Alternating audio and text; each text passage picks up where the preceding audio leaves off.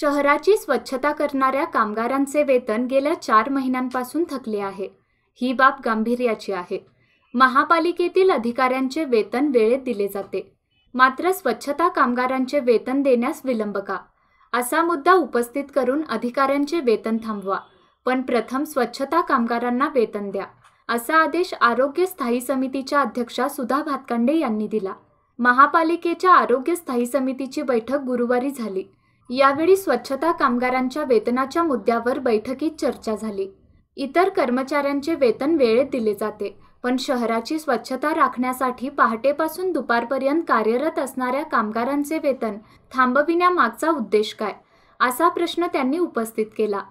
महापालिकेतील कामगारांचे वेतन थांबवा पण प्रथम स्वच्छता कामगारांचे वेतन द्या अशी सूचना सदस्यांनी केली.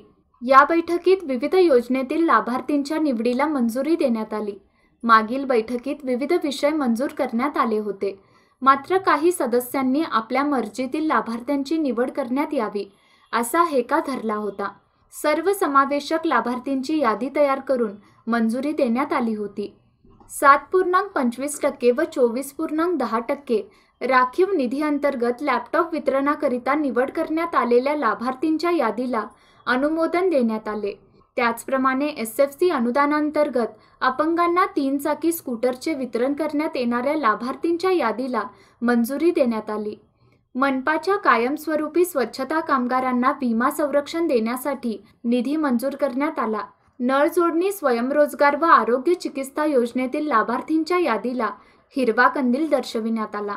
यावेळी महापौर बसाप्पा चिखलदिनी उपमहापौर मधुश्री पुजारी नगरसेवक विजय पाटील मनोहर हलगेकर बाबूलाल मुजावर सहाय्यक आदी उपस्थित होते.